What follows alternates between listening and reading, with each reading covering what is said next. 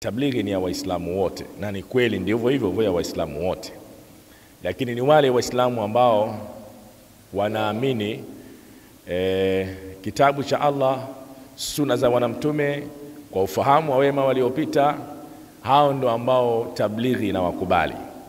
Lakini mfano Shia, Shia na tablighi ni vitu viwili, mashariki na magharibi, hatuwezi kukubaliana nao hata kidogo.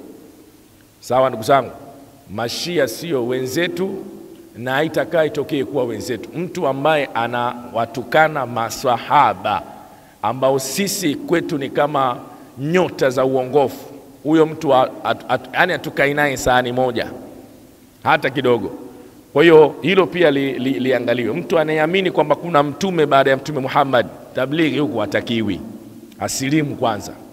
Mtu anayeamini kwamba mama Aisha E, anastahili kutukanwa, Omar anastahili kutukanwa, e, Abubakar anastahili kutukanwa.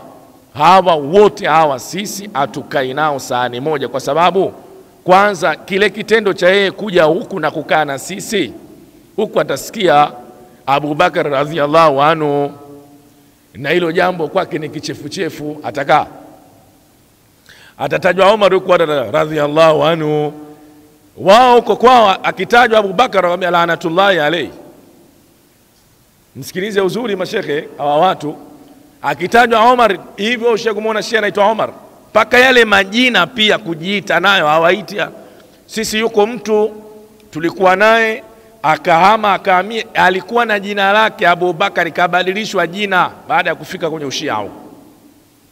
Kwa hawa sisi hatukubaliani nao lakini haya wote wa ndugu zetu ambao ni ahlusunna waljamaa wanakubali, wanamkubali Mtume, wanakubali maswahaba eh, hawa bwana, tunakwenda nao pamoja na pancha pancha zetu, lakini tunakwenda nao pamoja. Muda wa kuwa vigezo vya kuwa yeye Muislamu anavyo, tunakwenda naye sambamba. Mashallah, assalamu alaikum.